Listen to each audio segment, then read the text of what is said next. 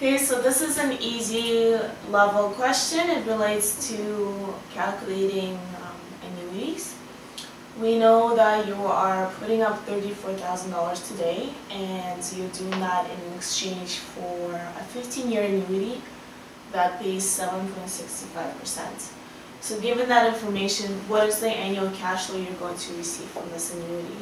So to start calculating or answering that question, you need to know the basic uh, present value of annuity equation, which is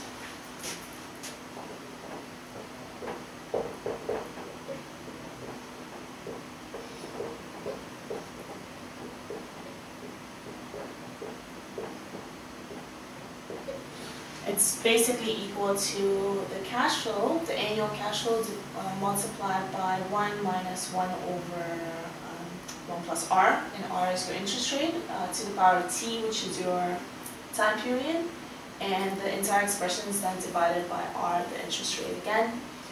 Now looking at the question, you have um, most of the inputs into this equation, so you can really calculate the annual cash flow. You have your present value of the annuity, it's just $34,000.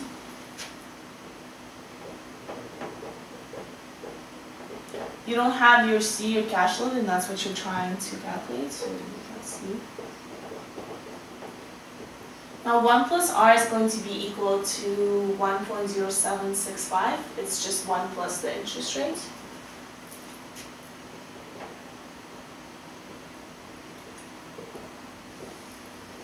And that needs to be brought to the power of t, your time period. So read the question, you know that your annuity is going to be for 15 years. So you bring it to the power of 15.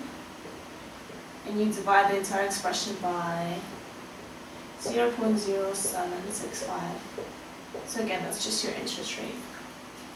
Once you simplify this equation a little bit and you rearrange it, you can get your C is equal to 34,000 divided by this expression here, which is equal to 8.74548.